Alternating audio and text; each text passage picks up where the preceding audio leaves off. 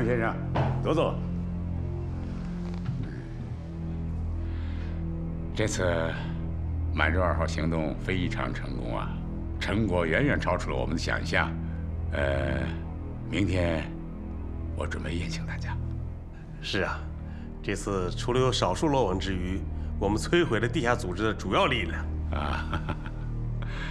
这次行动嘛，你和苏先生两人功不可没呀。我已经建议市政厅准备嘉奖你们二位。苏先生嘛，将兼任副市长。你们也将荣升为警察厅副厅长了。谢谢您的栽培。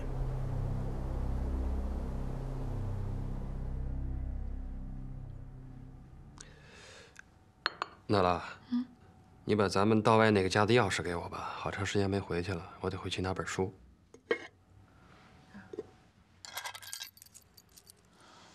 你自己的钥匙呢？我也不知道放哪儿了，也可能在办公室里吧。那你得好好找找，要是丢的话，还得重新换锁。放心吧，丢不了。嗯。爸爸回来了。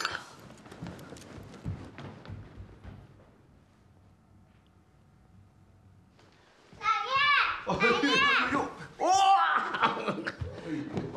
爸！哎哎哎！哎呦，好来，跟叔叔去。哎，快！你你吃了吗？啊，吃过了。刚参加完中村先生的宴会。我想跟您谈谈。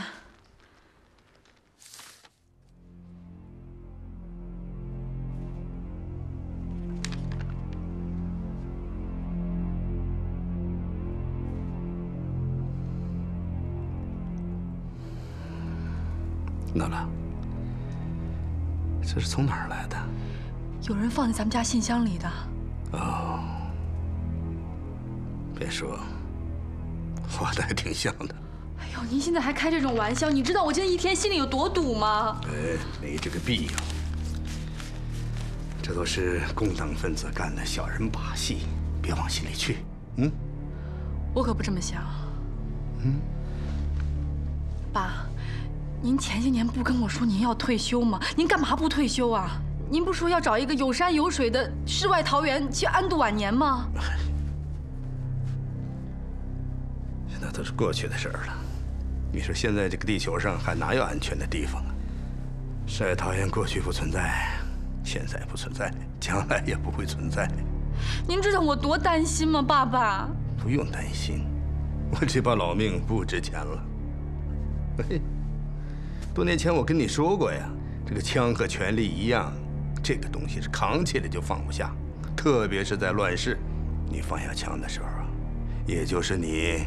山穷水尽、走投无路的时候，有时候放下枪，就是放下生命。好，好，好，爸，您就算不为您自己着想，您为我跟苏苏着想好吗？我真的不明白，您干嘛要跟着日本人走？他们在满洲国做了多少坏事啊？妈妈，我不是跟日本人走，我是跟皇帝陛下走。满洲国人民要想得到独立，要想获得美好的生活。那眼下就得付出一些代价，人类社会的任何一次进步都要付出沉重的代价。这就是世界呀！我们要获得永久的安宁和幸福，就得在这个时候进行一些高压和非常的手段。乱世重刑典，这是先人告诉我们的。那非得用成千上万的中国人的性命和民族尊严做代价吗？难了。你一个女孩子，不要关心你理解不了的东西。这政治就是政治，啊！你不要以为打着爱国的旗号就可以为所欲为，就可以不负责任。像汪精卫先生这样有远见，对四万万同胞的生命负有责任，敢于承担耻辱的人，这才是真正了不起的人。咱们中国就是缺少这样的侠士。您知道大家都怎么评价汪精卫吗？你别说了，我知道。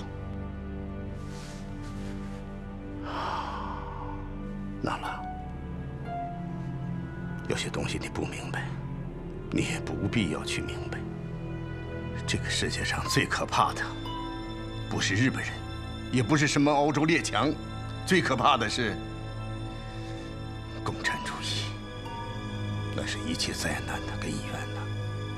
你不要听信愚蠢民众的传言，这个世界从来不是这些缺少理性的蠢猪们创造的。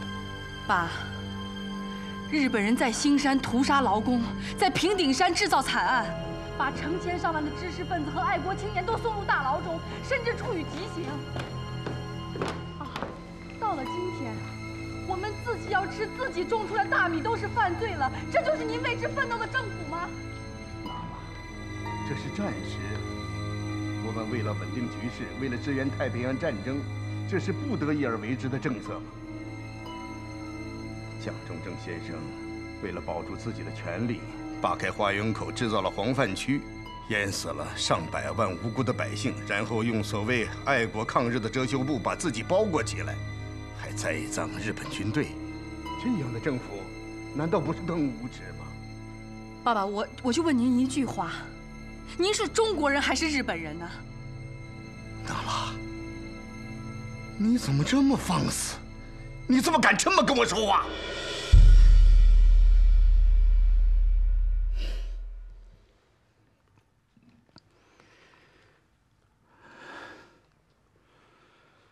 我苏春来。一辈子都是堂堂正正做人，没做过对不起祖宗的事情。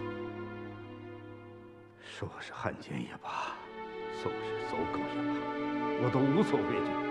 我自己知道我是什么人。爸，我不是那个意思。我是说，有一天日本人垮台了，您怎么办？我跟苏苏怎么办？您想过没有？娜拉，说真的，我不愿意连累你们。过些天，我出钱给你们买幢房子，你们搬出去过吧。跟我在一起，确实不安全。我根本不是这个意思，爸爸。娜拉，等战事平稳了一些，你们就去香港，去东京吧。这也是为了苏苏。爸，我真的不是那个意思，我是说咱们全家人都应该离开这个是非之地。整个星球都在打仗啊，哪还有一个安全的地方？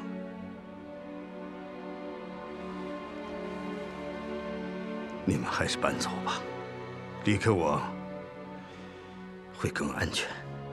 我说的不是这个意思，爸爸，你甭想赶我走，我离开这儿。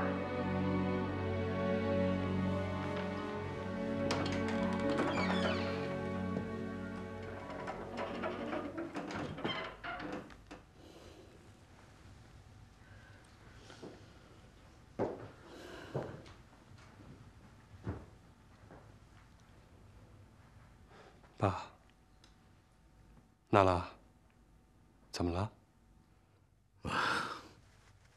生气了。我们都生气了。不是他惹我生气，是我惹他生气了。娜拉不懂事儿。栋梁啊，坐，坐吧。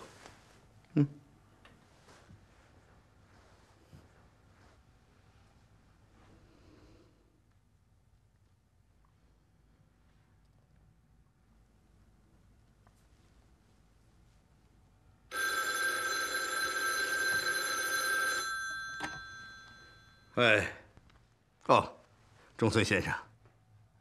嗯，哎，好，我马上就到。好，厅里有重要事情，我得走了。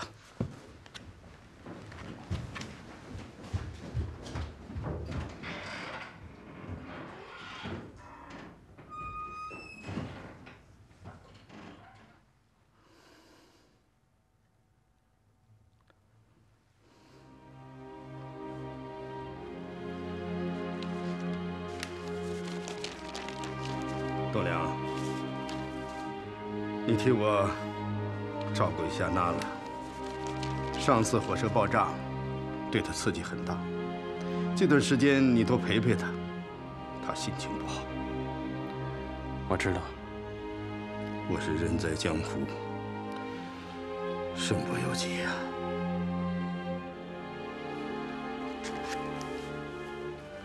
哦，对了，爸爸，改天您约一下中村先生吧，他救了苏苏，还没感谢他呢。你工作这么忙，这些事情就不用操心了。你没有必要和他们搅和在一起。你的主业是医生，做好自己的事情。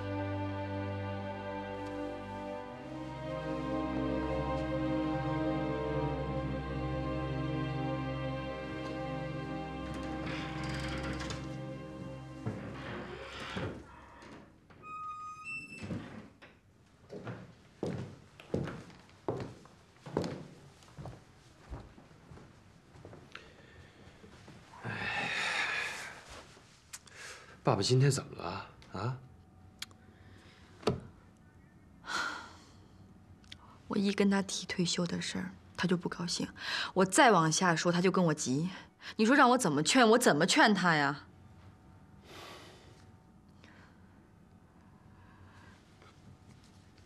栋梁，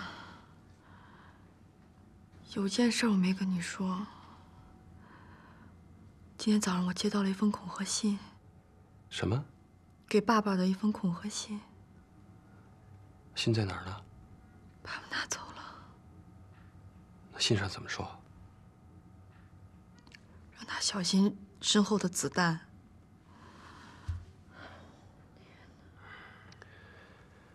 哎，爸爸在这个位置上，一定得罪过不少人。我真不知道该怎么办。只要他一出门，我这心马上就悬起来。你说怎么办啊？那你说怎么办？这上了贼船，你说能怎么办？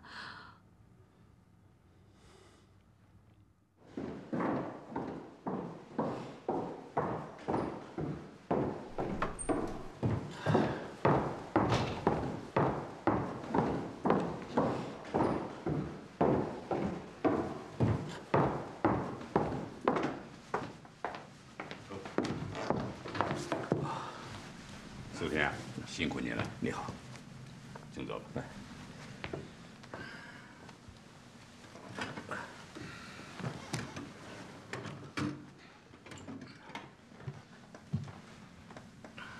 来，这些天，我们对在押的犯人进行了通宵达旦的审讯，我们得到了一个非常重要的消息。这么些年来，为什么我们对哈尔滨的地下党组织打击始终不利呢？就是因为，我们每一个重要的行动方案刚一出台，这个方案同时就出现在了共产党领导人的办公桌上。当然，如果他们也有一张办公桌的话，在我们的内部，或者说，在接近我们内部的范围内。有一个代号“雪狼”的共产党特工，一直在从事着地下活动。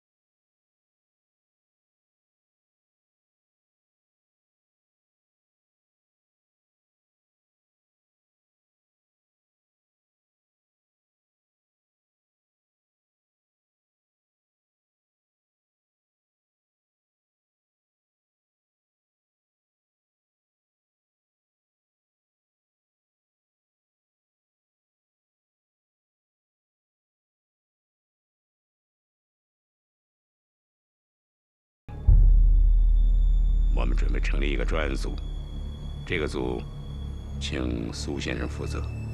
好，有关雪狼案件的所有情报，都要及时向我汇报。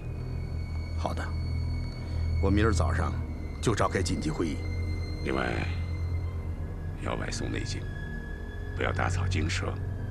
这个专案组享有特权，可以随时拘捕、审查任何一个人，包括宪兵队，也包括我本人。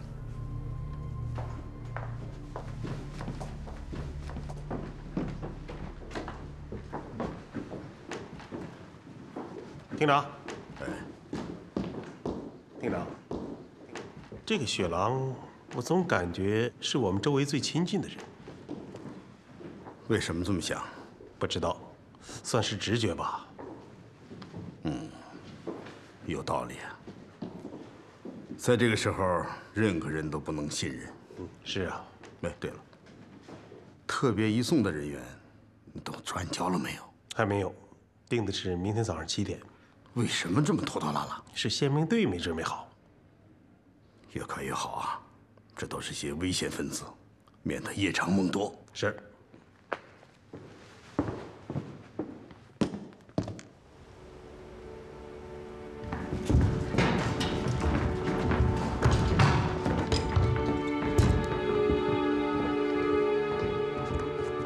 站起来！站起来！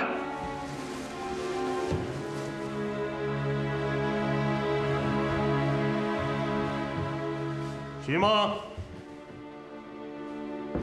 到。周玉琴。到。胡可。到。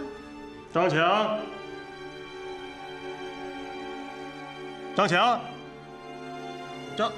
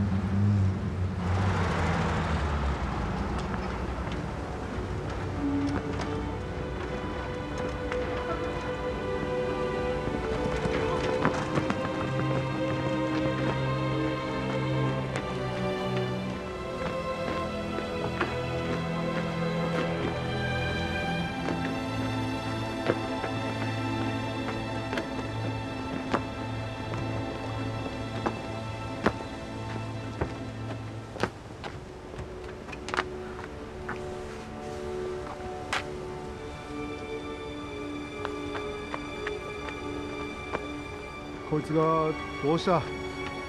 尋問中自分でやりました。何も価値もない。我々に治療する時間はない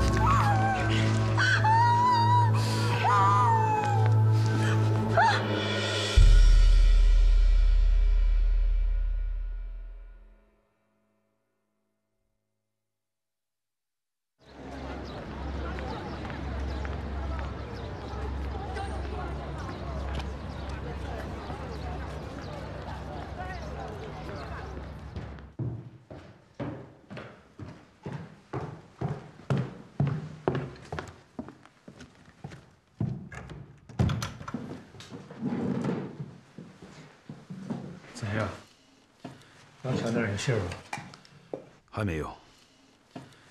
警察把所有的监狱都抓满了，就连地下室也塞满了人。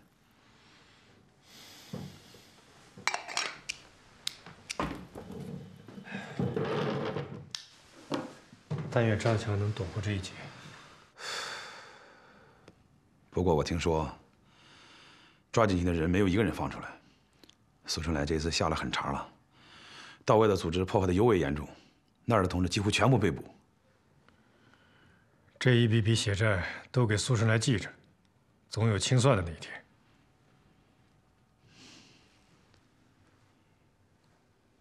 这儿怎么样？安全吗？还好。昨天晚上这儿来了警察，这左邻右舍每家人都进去看了，就是没进这儿。有一个当警察厅长的老岳父，就是有面子。嗯。哎，刘栋梁怎么样？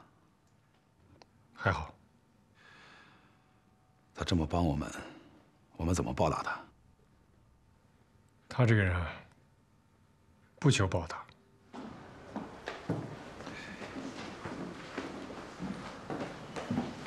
怎么样，手术顺利吗？还行吧，不过今天真有点累了。那早点回去休息吧。嗯。哎，对了，中村先生上次救了咱们家孩子，咱们是不是应该去登门拜访一下？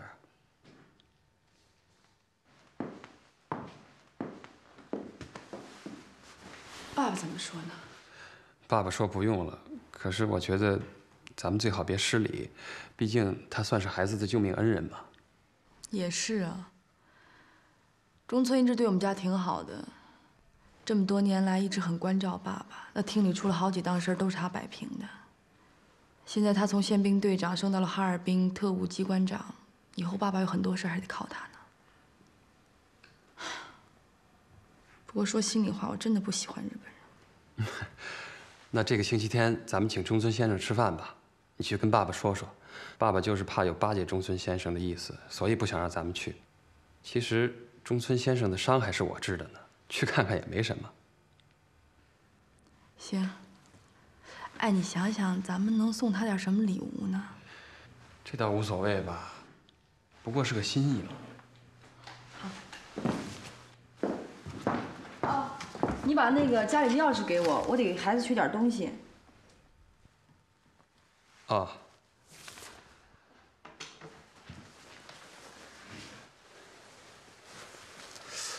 哎呀，钥匙好像没带，要不，要不这样吧，待会儿下班我去取就行了。我早上看你放在包里呢。哎呦，你哪儿找得着啊？孩子的东西乱七八糟，还是我去吧。那好吧，那我等会儿找找包里有没有。你现在就去吧，我要去二院办事，正好路过。哎呀，你着什么急呀？实在不行，咱们俩下班一块儿去。你最近怎么跟老太太一样？我那都叫好车了，马上就过来了。好吧。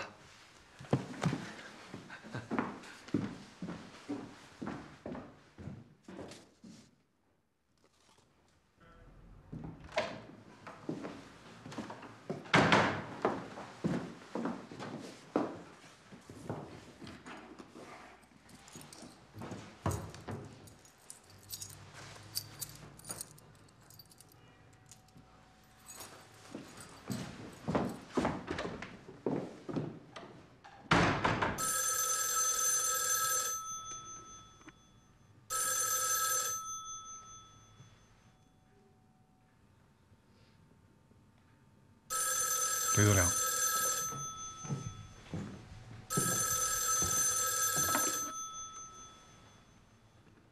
喂，老杨，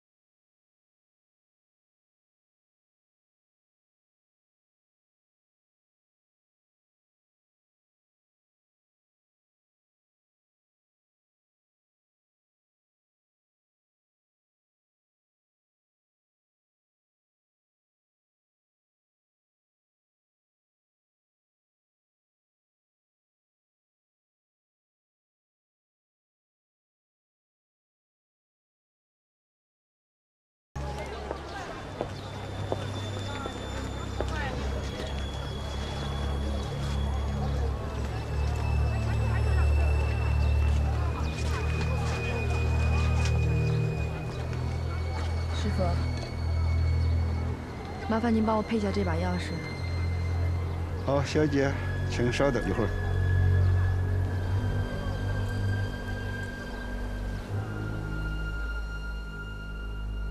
别跑慢点啊，别摔了。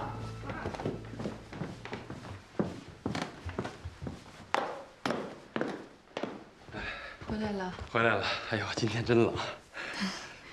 今天是挺冷的。哎，你东西拿了吗？嗯，拿了。啊，钥匙呢？啊，在楼上呢。不过你赶紧配一把吧，要不然太不方便了。行，那我先上去了啊。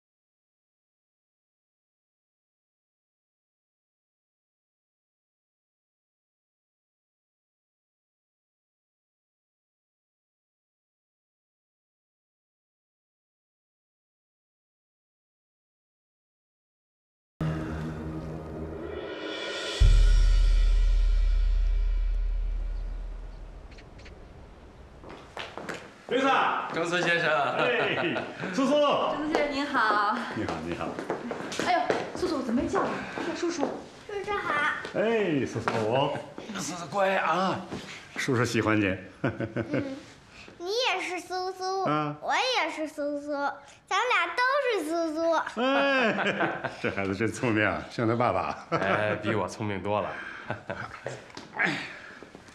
今天我请了个日本厨师，让他做几个日本菜，请你们全家尝一尝。哎呦，那太好了，正合我意啊！我做梦都想喝日本酱汤呢。真的？那太好了。哎，苏先生怎么没来啊？哦，最近他太累了，我们来就没跟他说。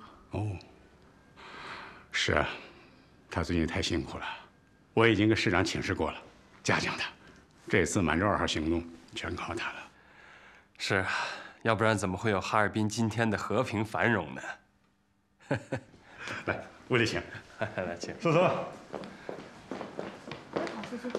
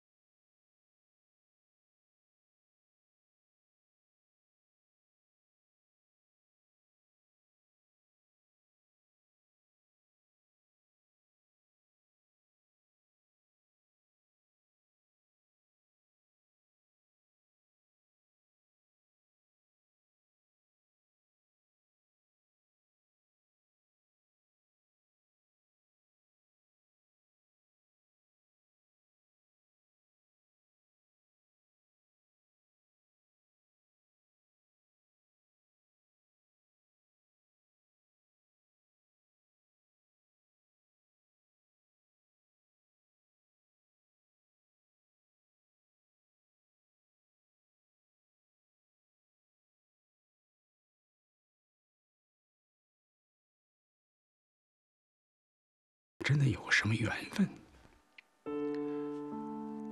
是啊，中村先生，您救了我的女儿，这一点我永生难忘。不客气。遇到那种情况，谁都会那么做的。我也有个女儿啊，也是像她这样，一点点看着她长大的。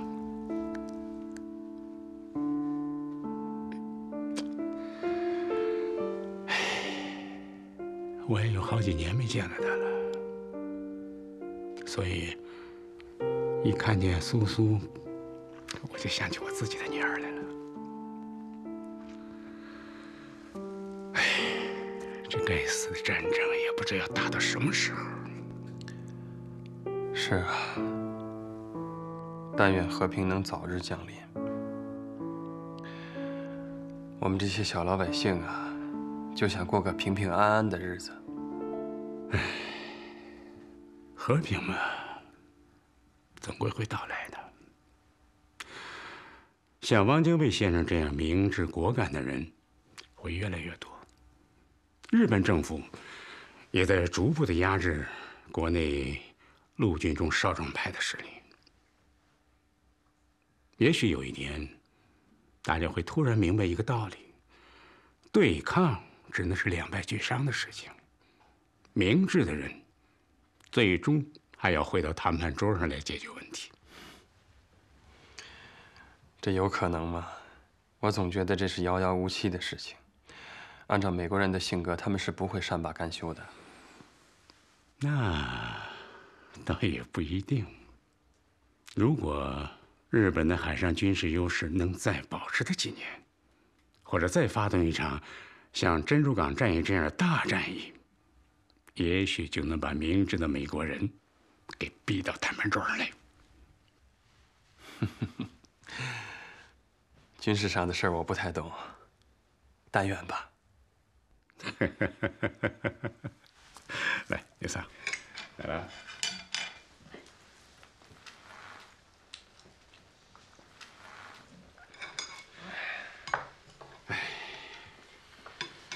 非常高兴我们今天能够聚会。我愿意成为你们一家的好朋友。啊，刘三，我有一个请求。如果你们同意，我想认苏苏为义女。苏苏的命都是您救的，您有权利成为她的义父，是吧，娜拉？当然了。太谢谢了，苏苏，快过去亲亲叔叔。苏苏，来来来来来来。嗯，你等着，这是给你的，拿着。苏苏啊，啊，按咱们中国人的习惯，你应该叫我干爸爸。